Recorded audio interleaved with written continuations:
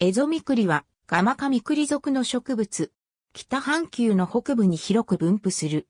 日本では北海道と本州中部以北の河川、水路、故障などに生息する。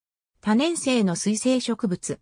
環境によって中水植物、不要植物、沈水植物のいずれの形態も取る可塑性を持つ。葉は線形で中水葉の長さは40から60センチメートルだが、沈水葉の長さは最大160センチメートルにもなる。夏季は7から9月、球状の登場果状を形成する。花には、有性毛と死生花があり、枝分かれした果樹に、有性頭花を4から7個、死生頭花を3から4個形成する。花中と中東を合わせた長さは3から4ミリメートルになるため、開花した死生頭花は、針状の突起が密生したような外見となる。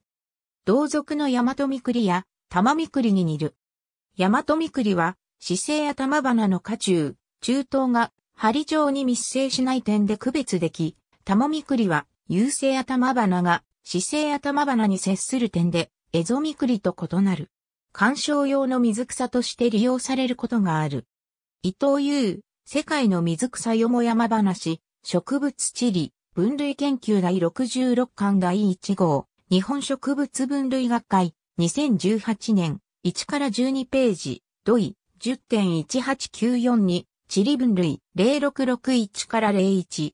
ABCD 学の安尾、日本水槽図鑑分一総合出版、1994年。ピアニッシモ、80から 81AB 福島県、レッドデータブック福島一植物、昆虫類、鳥類 P159。ありがとうございます。